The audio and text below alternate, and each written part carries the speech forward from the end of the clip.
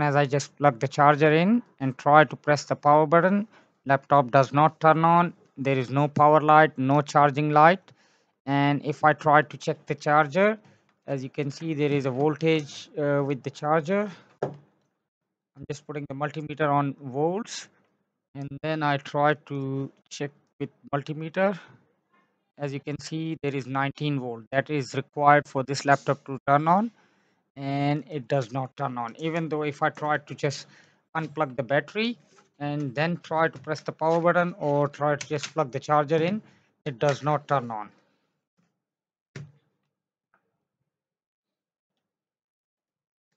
There is a second issue as well. Customer tried to push hard on this button. The button is uh, damaged and now there is a second issue as well. I will fix later on. First i will try to fix the power issue stay with me i will be back. Moving power button.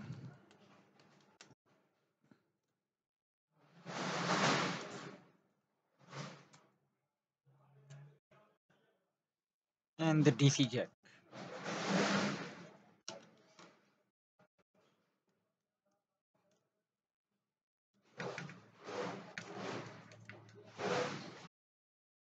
plugged in the power button and now plugging in the DC jack to just check the motherboard.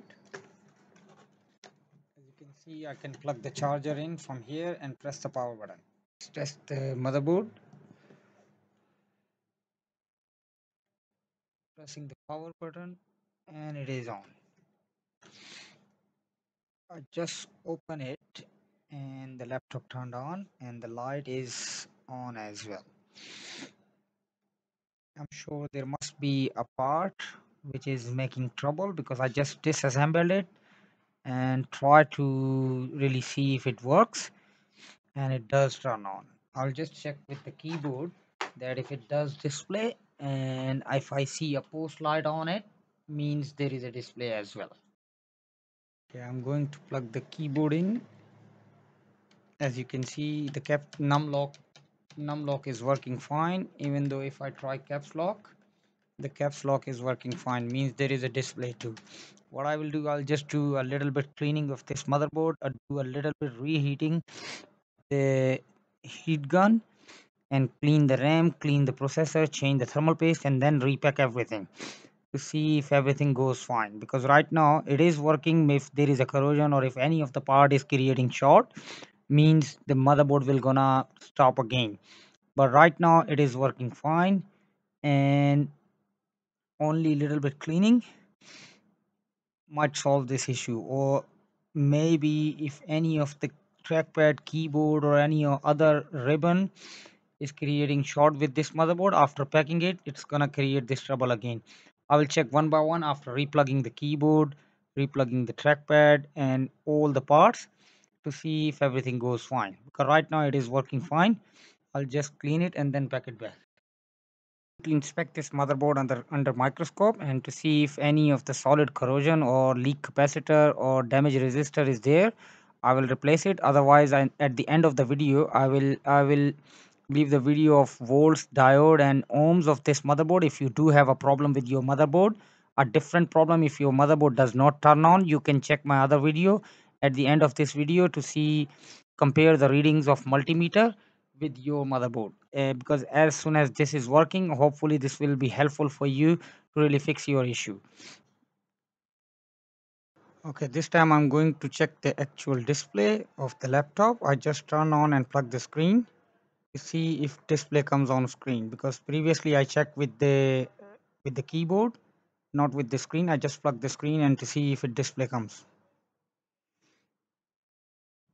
it is restarting again and again and now here is a display. It's gonna restart a couple of time because the RTC cell is out and now the laptop is displaying fine as you can see.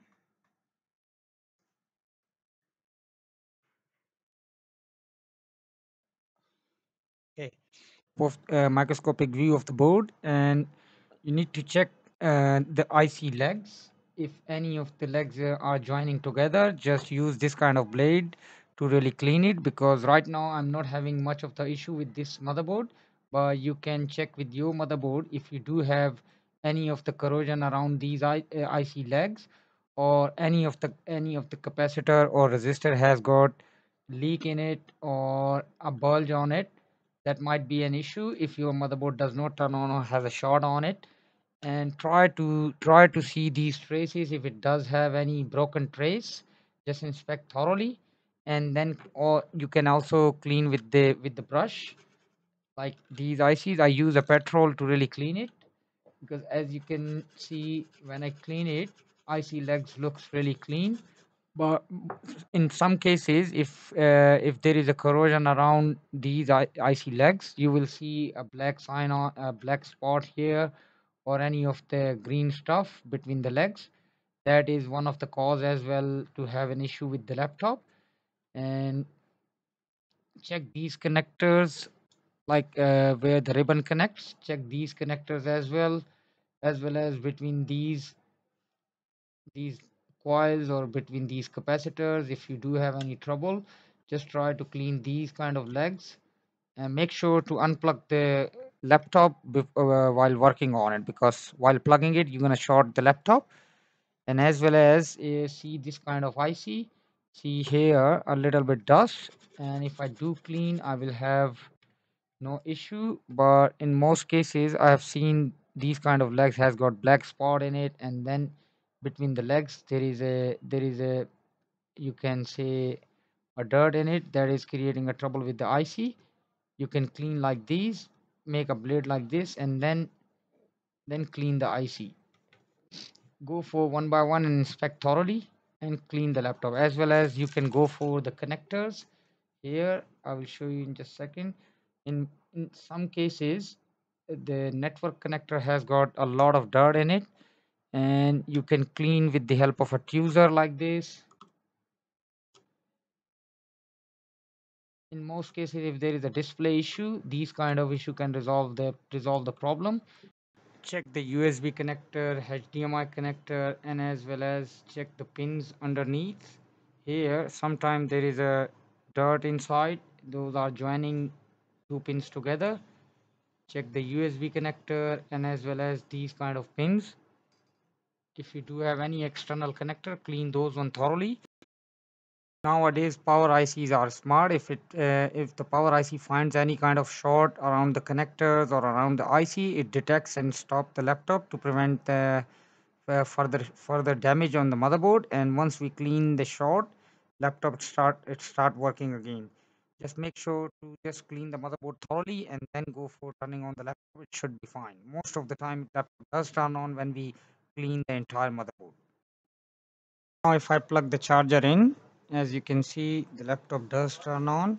I can see the light here and it is beeping for some reason. I will check why it is beeping. And but right now it is working fine. There is no power issue. I will check this beep issue why it is beeping. But right now the laptop is on. And as well as I will explain you one more thing. If you do have a cable damaged cable like this, then you go for fix this damaged cable because this damaged cable can be a cause of a short. And if it does happen if the short happens with the computer means uh, the power power IC will stop. But right now it is working fine. As you can see battery is charged 100% if I unplug and replug again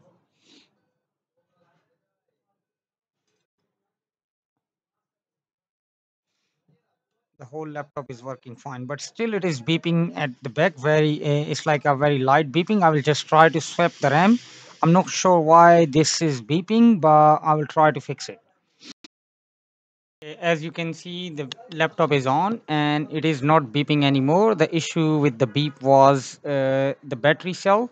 The battery cell uh, the pin was uh, pin was bent other side around. I just push pull the pin upward this pin broke and the other pin still remains same uh, at the location. What i did i checked the battery cell voltage. It is 3.1 it's supposed to be more than 2.8 volts. And normally normally the say these these kind of RTC cell comes with the uh, with uh, 3.2 volts. And now if you if I check this one it is 3 3.1 minimum requirement of this computer is 2.8 and now this uh, i just replaced the cell. I scratched the cell from both side little bit uh, like a scrape with the with the tweezer like this from this side and the other side. And i pull the pin little bit up and then plug the cell in. And now there is no beep anymore and the laptop is on and it is updating additional information. I just fixed the power button and as well as if you want to test your laptop if you do have this kind of power issue just remove the rtc cell first battery first and then just try to plug the charger in press the power button. If it doesn't turn on then go for the entire procedure because right now uh, in the beginning of the video i did not show it, it did not show the entire process but you can you can apply these kind of just remove the battery cell from the back remove the battery and then plug the charger and press the power button.